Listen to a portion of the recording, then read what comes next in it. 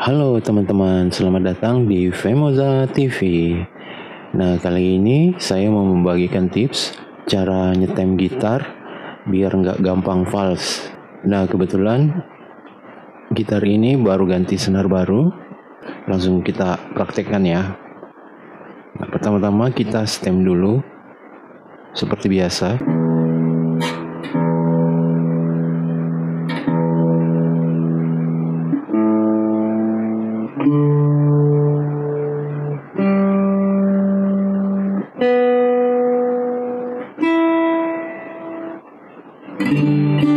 Nah, pertama kali kita stem senarnya itu sebenarnya belum stabil, teman-teman. Jadi, kita perlu menarik-narik senarnya seperti ini. Satu demi satu.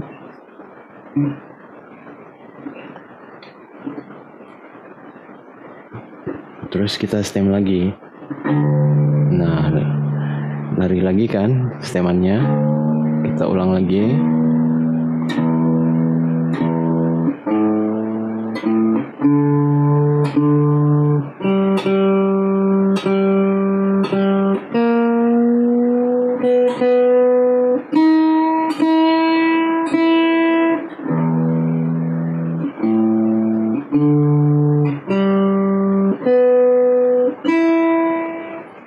Nah, kita ulangi lagi. Kita tarik-tarik lagi senarnya seperti ini.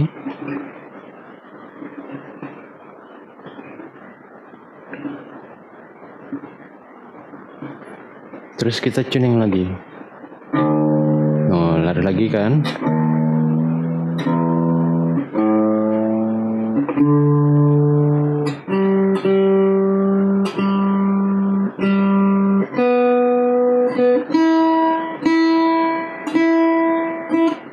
Coba lagi, sekali lagi.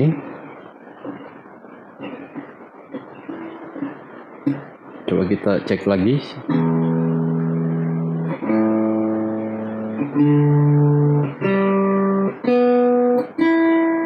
Nah, tuningnya udah stabil.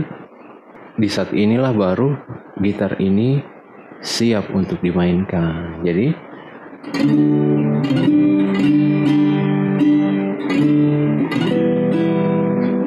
jadi pertama-tama itu saat kita stem senarnya itu sebenarnya belum siap. Jadi dia butuh adaptasi dengan tarikan senarnya itu sendiri dengan gitarnya. Prosesnya harus seperti yang tadi mungkin butuh 4 sampai 5 kali baru senarnya itu bisa stabil. Semoga video ini bermanfaat buat kalian. Sampai jumpa lagi di video-video selanjutnya. Terima kasih